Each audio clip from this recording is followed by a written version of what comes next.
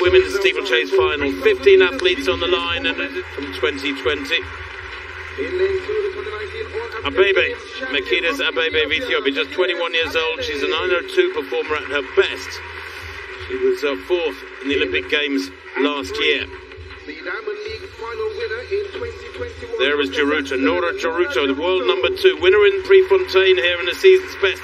Back on the 28th of May, she's uh, the third quick. Peruth Chemutai, the Olympic champion from Tokyo, in those colours of Uganda. Ninth fastest in history, Chemutai. Who will take this one out? Will it be fast? The world number five, Werkuha Getachew of Ethiopia, is out there. So is uh, Chespol. And uh, six of the all-time top ten. It is going to be quick. It is going to be fierce. Who will take it out? I really do hope it's not going to be a slow, meandering affair. I don't think it will be. I think the Americans will want it to be kept at a healthy pace. Jeruto to the fore early on. The third quickest athlete. She largely ran that race on her own, but Jeruto rarely has company. She blasted through her heats from 258 opening kilometre. And I thought, well, that's very impressive, Jeruto, but what if you if you ran too hard, if you've left too much out there? Jeruto didn't even get to go to Tokyo. Her allegiance wasn't sorted out in time, but she was still the number one on season's times last year. She's a super racer, Emma Coburn, great technician. Jeruto and Yavi, Coburn in third. On the outside there is uh, Uganda's Peruth Chemutai, the Olympic champion. They're all having to go with it. You can't throw in the towel early on. Waiting for that one kilometre split to come through, but it will be quick.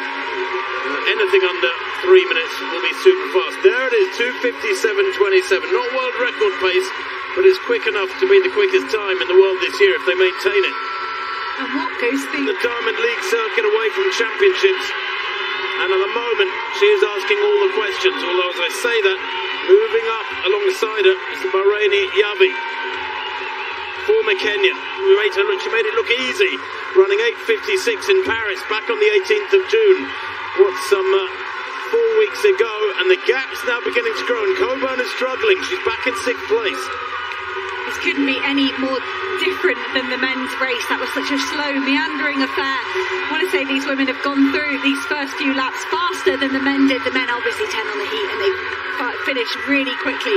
But Yavi and Jonatu are head and shoulders above the rest of the field on paper, some six and seven seconds faster than everyone else. So this is a good tactic from Chalutu and Yavi to try and burn off everybody else, and they've nearly managed it. Just Ethiopia's Getachew for company. Ethiopia have never had a champion in this women's steeplechase. Getachew looking full of running. They're coming up to two kilometres now. Well, the championship record, mark your card, 857.84 by Beatrice Chepkoech, the world record holder. She did that in Doha three years ago. Jeruto, the tactic seems to be working. She's burning them off. 2K coming up for her. And the time at 2K, just waiting for it to come through. And it's 5.58 at 2K. And we're down to four, very nearly three. Yavi in second, the world number one. Getachew in third place. Jeruto continues to press on the accelerator. She's got daylight. If she knew she'd got those three or four meters, she'd redouble her efforts. Two laps to run. And Jeruto clears that one nicely. She's got a good hurdling technique, more traditional hurdling technique. as uh, Jeruto, Norah Jeruto of Kazakhstan. Her last race, win in uh, Kazakhstan in Almaty, the capital, 9.16 she ran there. That was a solo run. This is a solo run as well because she's been in the front since the get-go. Jeruto of Kazakhstan, Yavi of Bahrain, Getachew of Ethiopia, and Abebe of Ethiopia back in fourth place, trying desperately to get back to them. She was fourth in Tokyo. She won't want to be fourth again. Mekides Abebe has put in a massive effort over the final 400 metres. If she, over the last 400 metres, if she can get back on terms with these guys, they've jumps left to go. We saw El Bakkali, the water jump really decided that men's race. He flew off that, the Moroccan, to take the title. And Mekides Abebe, number three on the world list with her 903 time, is gliding through this field. If she can have some clean hurdles, she's really going to challenge for the medals. We thought it was three broken away, and suddenly, as we come up with one lap to go, there's four. The bell this time then. Jeruto has led the entire race, moving through on the inside, cheekily moving through the Bahraini vest of Winfred Mutile Yavi. But Jeruto's having none of it. She's in the lead, Yavi, for the world number one this year, for about 20 metres. Jeruto goes past her as if to say, get out of it, the lead spot is mine, I will be in front, I'm going to control this. She leads with 300 metres to run into the back straight for the final time. Every hurdle now absolutely critical. Getachew there. Werkuha Getachew, the 26-year-old, a 907 athlete, heading for a maximal person best here if she can keep this going. 200 to run. Back in fourth place, Mekides Abebe again. Can the 21-year-old get on terms with his three in front of her? And Yavi takes that final water jump awfully. She lost three or four meters there. Into the home straight. Getachew grimacing, big and powerful, but she hasn't got the legs surely to catch Norah Jeruto now. And she cruises towards the finish. It's going to be gold for Kazakhstan. The gap is widening all the time. And look at the clock. She's going to pulverize the championship record. Gold. Gold, and what a goal for Norah Jeruto. Boy. Ethiopia have silver. A baby does get the bronze, one place better than in Tokyo. And Yavi, the world number one coming into these championships, who was so mighty impressive with that victory a month ago in the French capital with 8.56, has to settle for a frustrating fourth. Brilliant running from Geiger. What a well judged effort. Rounds might have been 9.14 there for Aimee Pratt. Serious running, but Jeruto, she didn't get the chance to do Tokyo. She wasn't cleared to compete for Kazakhstan. With that awful clearance of the final water jump, dear oh dear, she'll regret that one.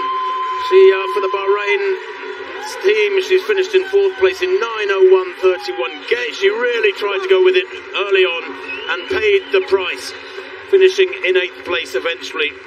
2017 world champion. What a race. I think that will go down as perhaps the greatest mass finish in the women's steeplechase in history. The first three, a long way under nine minutes. Brave running from Getachew and Abebe getting herself back into the into contention for a medal. I the super well to get herself back up there. The Ethiopians really are getting the teeth, their teeth into the steeplechase on the men's and women's side. Norah Jeruto, Norah Jeruto breaking the championship record by, well, very nearly uh, five seconds. 8.53.02. The old championship record of uh, Chepkoech, 8.57.84. It is taking strides forward against the clock year after year as the women's team. And then she gets her gold medal. So what they do in cricket in Australia and have sort of uh, inflatable tubs around the outside and make people pay outrageously high for uh, a spot in those tubs in the sunshine. Back in July 2018. That has to be the next target for an athlete like Jeruto, who led the whole way. There it is, Jeruto wins championship record 8.53.02 in the win for Werkuha Getachew 8.54.61 and Abebe a personal best 8.56 and some great running from the places behind those medalists. National record for Geiger, national record for Aimee Pratt, in Great Britain. Pebbles Chemutai 9.21. Chemutai, who is a, a 901 performer, won't have been happy with that running. Ugandan colours. Chespol 2 can go many, many seconds quicker than that. She's an 8.58 performer.